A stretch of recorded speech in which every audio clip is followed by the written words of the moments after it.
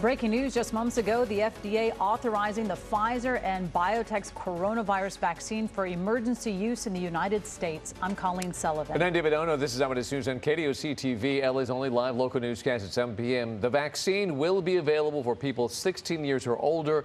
Operation Warp Speed said that they will start within 24 hours shipping 2.9 million doses to 636 locations around the country via UPS and FedEx. It's only a fraction of what is needed needed, but it's that ever so important beginning of the end we have all been waiting for.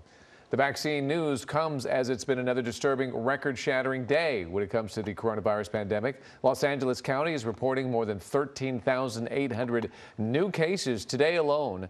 California also shattering its record, adding more than 35,000 new cases.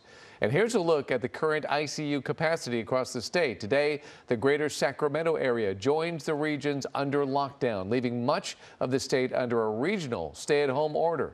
In our area, ICU capacity now hovers just about 6%. Those numbers underline the urgent need for a vaccine. Hello, I'm Mark Brown. Get more great ABC7 content by clicking the subscribe button for our YouTube channel and download the ABC7 Los Angeles streaming app on Fire TV, Android TV, Apple TV, and Roku to watch on your TV.